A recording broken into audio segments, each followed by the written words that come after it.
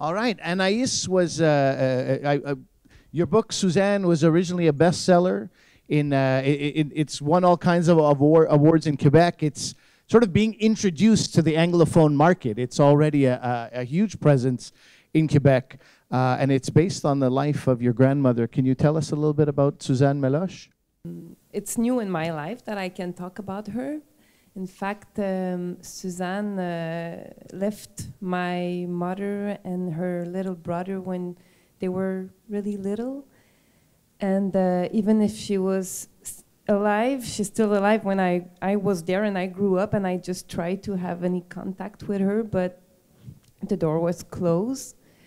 And so for a long time in my life, she was just someone that yeah, who hurt my mother. You told a little bit about her before, but so I just hated her. She was a ghost, and I I was a bit afraid of her.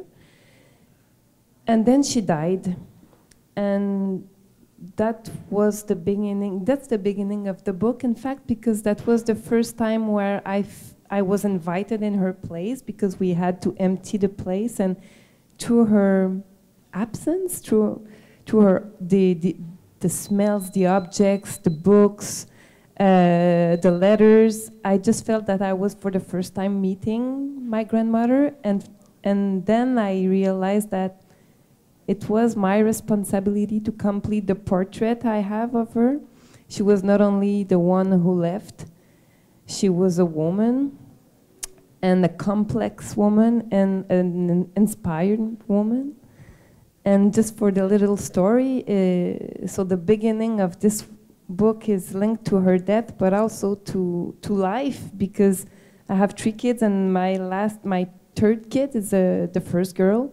So I, I, wrote this book when I was pregnant of my first girl, and it's really um, well, it's not in the book, but it's important to talk about it for the process because because I felt that for the first time I needed to fulfill this emptiness in my uh, yeah in, in, the life story of the the woman.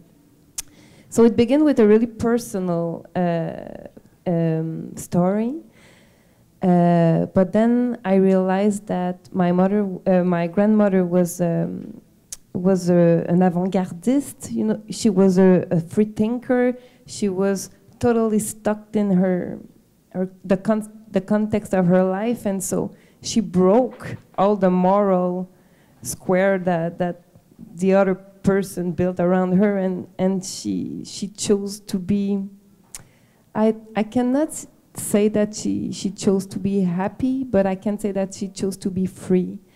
And um, and uh, it, i'm still surprised about how i've begun to write this book hating her and i i at the end i I have to say that I love her.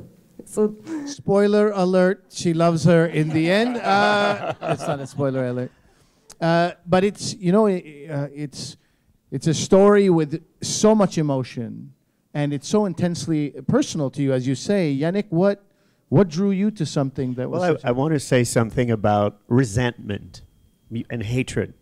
My therapist used to say, resentment is like swallowing poison and wanting the other person to die. Mm-hmm. Makes no sense, right? I think we all owe that therapist a couple of bucks. Everybody went, oh, yeah. Yeah. Um, yeah, forgiveness is a big thing in life. It uh, when we don't, we get stuck in the past, and that's the power of your journey in the book and discovering your grandmother, for me anyway. And uh, my dad left when I was two, never saw him again. So, very similar to the grandmother. And I've always wondered how can you leave a child behind? How can you go on with your life and be happy? And wow, what a great life I have. And you have a son, and you know. And so I very much understand her quest to understand that woman. Rhonda, I wanted to ask you what it was like to translate such a, a already beloved uh, piece of work from French to English. What was that task like? What do you feel?